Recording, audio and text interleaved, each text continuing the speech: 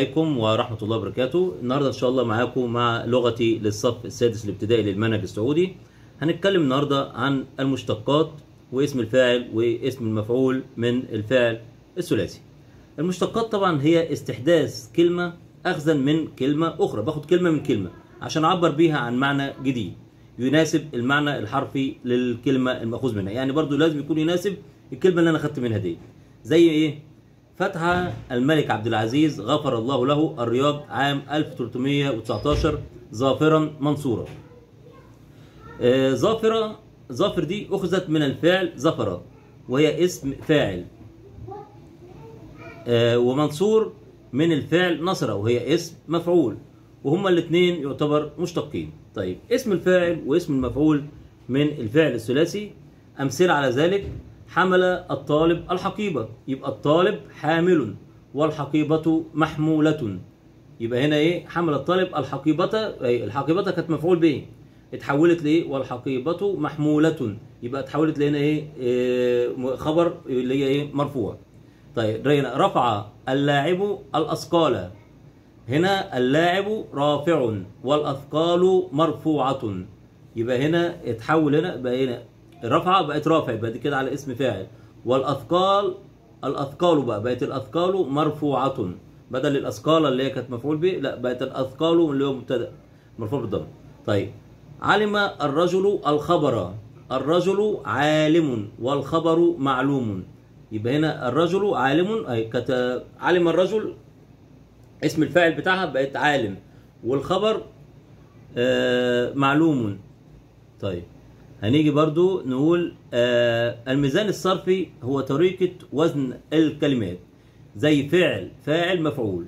بتبقى على هذا الوزن. لازم تبقى على وزن فعل فاعل مفعول. زي إيه؟ هندي أمثلة. زي كتب كاتب مكتوب وهكذا. باقي الحاجة. لو أي حاجة جات لك بتعملها على هذا الوزن.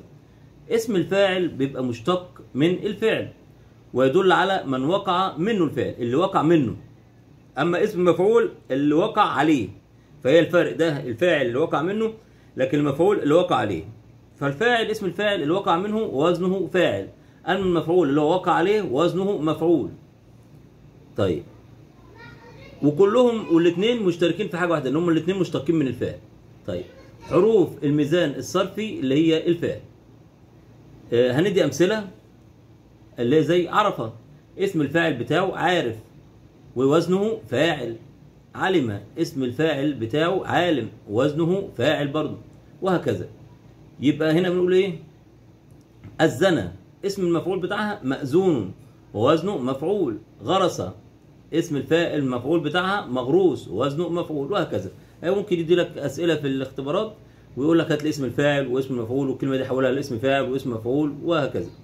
وان شاء الله نتمنى طبعا تكونوا فهمتوا الدرس معانا ونتمنى التوفيق للجميع ان شاء الله والسلام عليكم ورحمه الله وبركاته السلام عليكم ورحمه الله وبركاته I will translate the video to Japan language. Don't forget to make like and subscribe and uh, share for the video and complete watching إن شاء الله والسلام عليكم ورحمة الله وبركاته بسم الله الرحمن الرحيم サウジアラビアのカリキュラムの小学校6年生の私の言語アブドゥル・アジーズ王の制服など、 別の単語から取られた単語の文字通りの意味に一致する新しい意味を表現するために別の単語から取られた単語の作成である派生語は、神が彼を許すことができます。1319年のリヤド、勝利と勝利。ザファーは名詞である動詞ザフェアから取得され、マンスアーは動詞ナサーから取得され、対角名詞であり、二つの派生語です。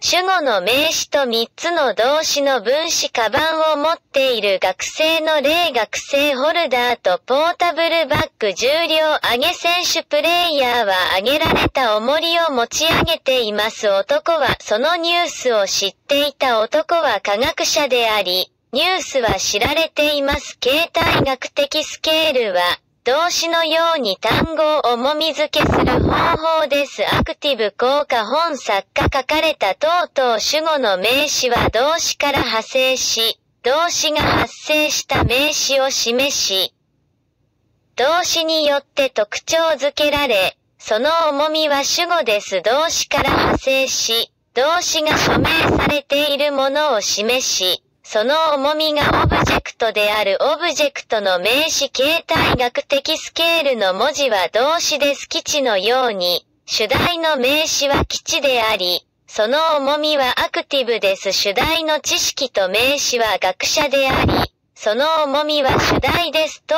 々従って、効果の名前は承認されており、その重みは効果です。植栽と効果の名前が刻まれており、その重さは効果です等々。 I translated the video to Japanese language. Don't forget to make like and subscribe and share the video and complete watching إن شاء الله. والسلام عليكم ورحمة الله وبركاته. السلام عليكم ورحمة الله وبركاته. I will translate the video to Portugal language. Don't forget to make like and subscribe and share for the video and complete watching إن شاء الله. بسم الله الرحمن الرحيم.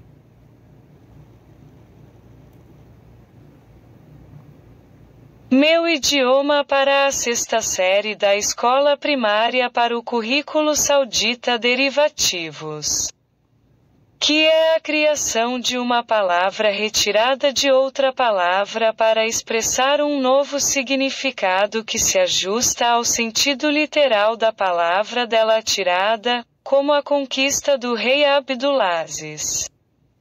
Que Deus o perdoe, Riad em 1319, vitoriosa e vitoriosa.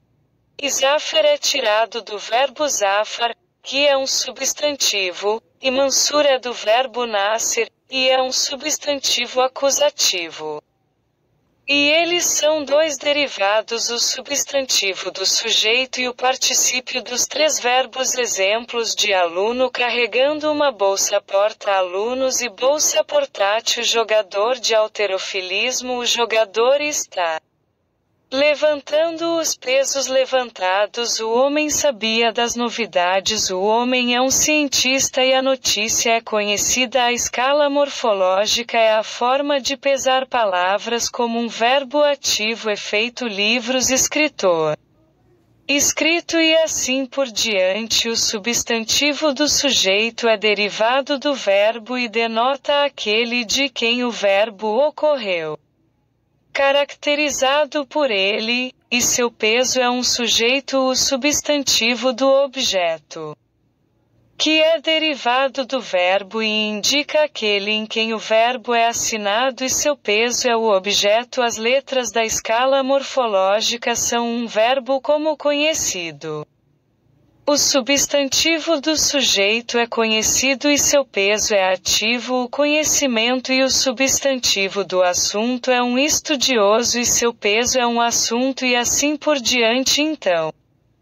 O nome do efeito é autorizado e seu peso é o efeito plantar e o nome do efeito é gravado e seu peso é o efeito e assim por diante. I translate the video to Portugal language. Don't forget to make like and subscribe and share the video and complete watching إن شاء الله. والسلام عليكم ورحمة الله وبركاته. السلام عليكم ورحمة الله وبركاته. I will translate the video to English language. Don't forget to make like and subscribe and share for the video and complete watching إن شاء الله. بسم الله الرحمن الرحيم.